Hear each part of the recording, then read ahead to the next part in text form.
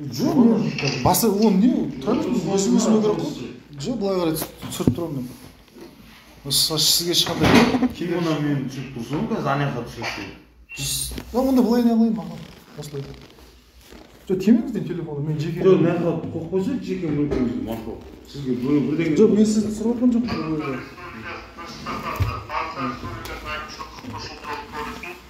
төрт жүз сексен сегізінші бабының алтыншы бөлігіне күлбаев ерғали қатысты әкімшілік істі қарауды ашық деп жариялаймын істі судья ниязбек хатшылықта алмабайдың прокурор утеновтың қатысуында қараймыз күлбаев фамилия аты толық айтыңыз кульбаев ерғали нариманұлы. Туылған күніңіз? он бес он сексен алты. Тұратын мекен жайыңыз шымкент қаласы микрорайон қазығұрт нұрлы отыз алты. Сізге құқықтарын түсіндіреді сіз іс құжаттармен танысуға олардың көшірмелерін түсіріп алуға соттың құрамына қарсылық білдіруге талап тілек беруге аудармашы және қорғаушының көмегін пайдалануға құқығыңыз бар. түсінікті ма құқықтарыңыз? Түсінікті. Соттың құрамына қарсылық бар ма сізде? Қарсылық жоқ. Қазақ тілін түсінесіз ба? Қазақ тілінде жүрсін иә сіз. Іс жүргізуді қазақ тілінде деп белгіленген іс бойынша толтырылған хаттаманы оқып жариялаймын. Он бесінші ақпан екі мың жиырма бірінші жылы шымкент қаласы дейді. Сәуле мөлтек ауданы ич жүз алпыс жеті дробь он бір мекемесінің алдында жиналыс митинг жасап жергілікті орган аудан әкімшілігінің орынбасары мұсабаевтың ескертуіне қарамастан ә, жалғастырған дейді. Не айтасыз күлбаев ол жерге біз ә, митинг өткізуге барған жоқпыз. Ол жерде мынау саяси тұтқын нұржан мұхамедовті ә, біз түрмеде ә, тергеуде жатыр ол қазір сондықтан біз ол жерге ас ауқат алып барғанбыз. Ә, ас ауқат алайда ас ауқат алып барып сол жерде қанша адам болып жиналдыңыздар ол жерде бір жеті сегіз адам болды. Енді біз ана ортадан ә, ақша шығарып сөйтіп ә, ас ауқатты кіргізген болатынбыз. Ол жерде адвокат адвокат табу мәселесінде ақылдасқан едік та енді сол жерде. Өйткені ол біз митинг өткізетін болсақ алаңға барамыз ғой біз. Ол жаңағы түрменің алдында жиналмаймыз ғой. Митинг өткізетін адам стратегиялық ә, құпия объектілердің жанында жиналмайды ғой негізінде. Оны білеміз ғой жақсы.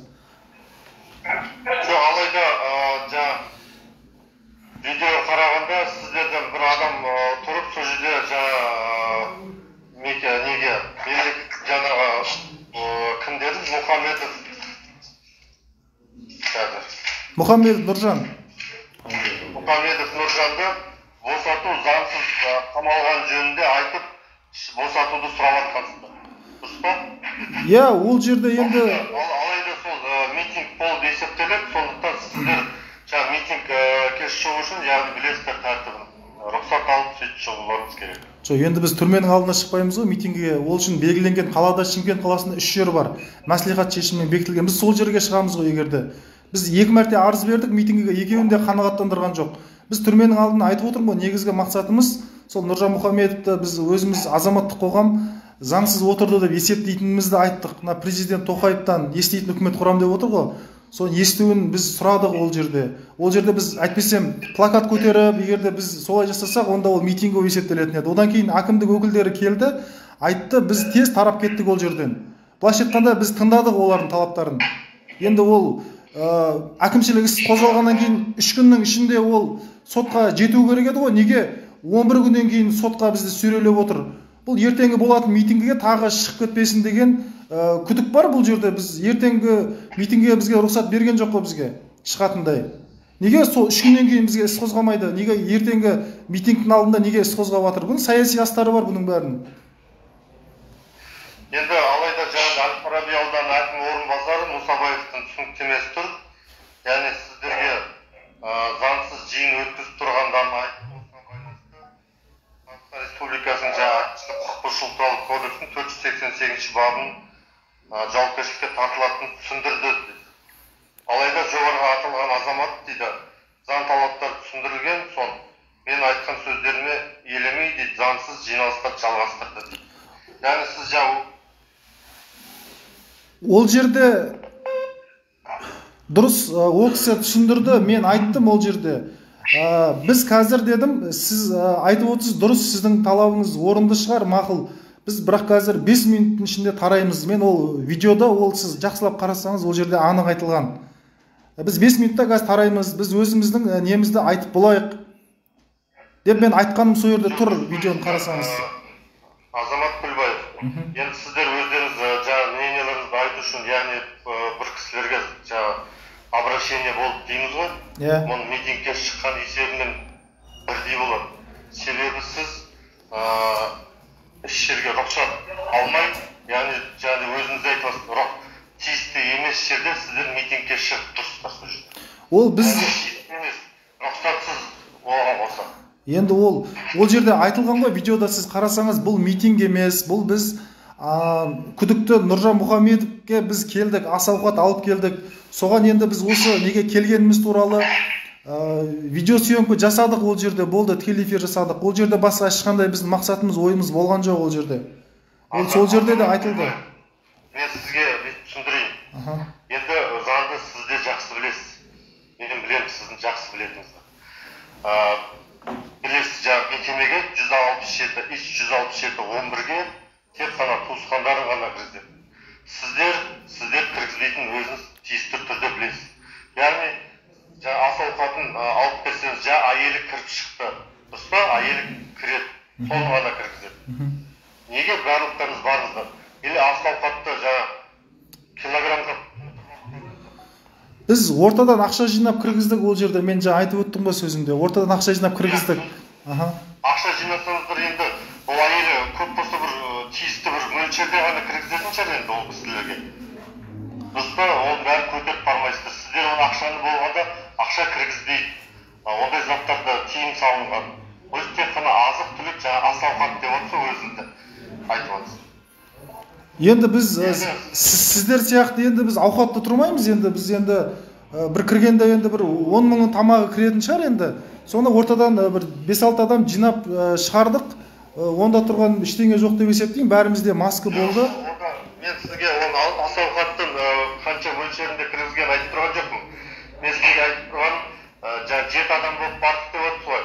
Соншалықты көп алып бармағаншасыздар көтеріп көтере алмайтындай деп отырмын да.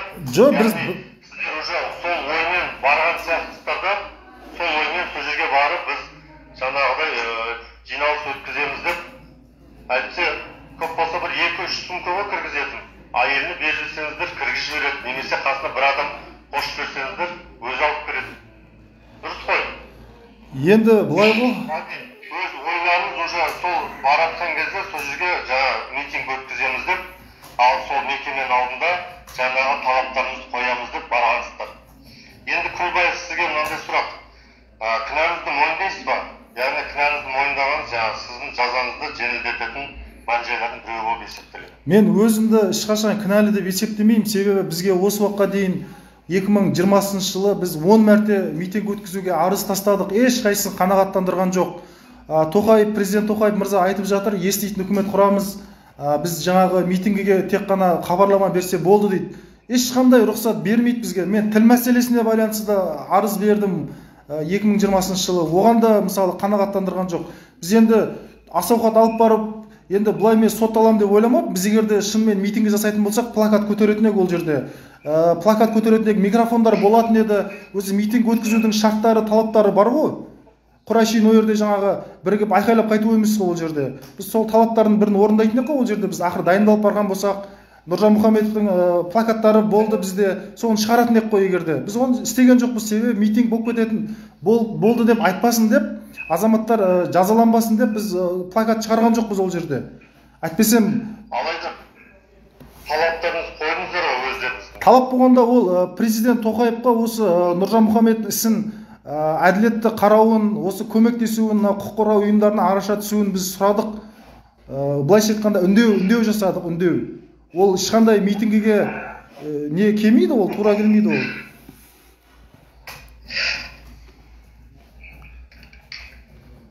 Енді біз қай жерде талап қоямыз енді? Мысалы прокуратураның алдына да барып талап қойдық осы осы жылы. Нұржанның плакаттарын көтеріп ә, бірақ ол жерде бізге митингке шықтым деп ә, соттаған жоқ қой мысалы сот болған жоқ қой бұндай. Сол сияқты біз сизода жатқаннан кейін қолдау мақсатында сол талап тілегімізді айтайық президенттерге. Мүмкін ә, заңдылықтың сақтауын қадағалар деген сияқты не болды? Басқа бізде митинг өткізу туралы мақсат болған жоқ ол жерде.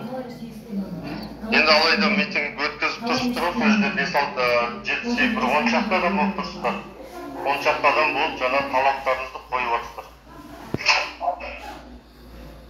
енді мен оны митингі деп есептемеймін. Ә, бұл ә, сіздердің қойып отқан кінәларыңызды мен ешқашан мойындамаймын өзімді кінәлі деп есептемеймін. Кінәлімін деп мойындайтын жер болады. Мен егер де митингіге шығып ә, содан кейін маған әкімшілік хаттама толтырса сол жерде. Ал мен қанша күн өткеннен кейін барып именно мына ертең болатын митингіге шығып кетпесін деп ә, әдейі жасап отыр бұл соттың бәрін. Жаңағы анықтау органдары егер де соттаймын десеңіздер соттай беріңіздер заң сіздердің қолдарыңызда. Себебі біздің елде білем ә, ешқандай тәуелсіз сот жоқ. Жаңағы ә, комитет бізде басқарады бәрін комитет араласады. Полиция қызметкерлері не жазып берді? Судьялар соны оқиды сіз кешіріңіз сіздің енді көңіліңізге келмесін. Мен көріп жүрмін. Ылғи митингілердің алдында қамайды бізді. Е, митингіге шығып барып қамалайық та одан да біз нақты істеген іс әрекетімізге жауап беруіміз керек қой.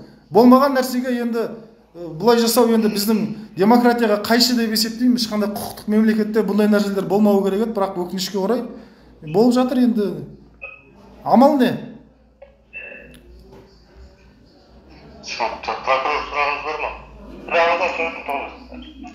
Онда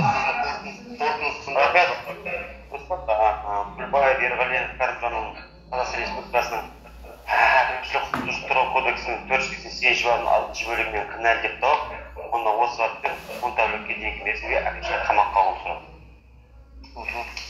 түсінікті соттың қаулысын жариялап қойсаңыз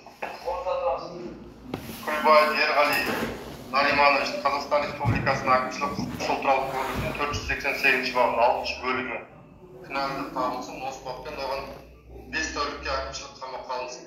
Сонымен келіспеген тараптар осы сот арқылы шағын прокурор апелляциялық өтініш хат беруге құқылы. Сізге түсінікті ма түсінікті түсінікті яғни сіз келіспеймін мен үкіммен келіспесеңіз тәртібін түсіндірдім жақсы осымен істі қарауды жабық деп жариялаймын жақсы сау болыңыз міне ағайын кеше нұржан мұхамедовке сизоға қолдап барғанымыз үшін тамақ алып барғанымыз үшін тағы прокурор он сутка сұрады бірақ бес сутка biz de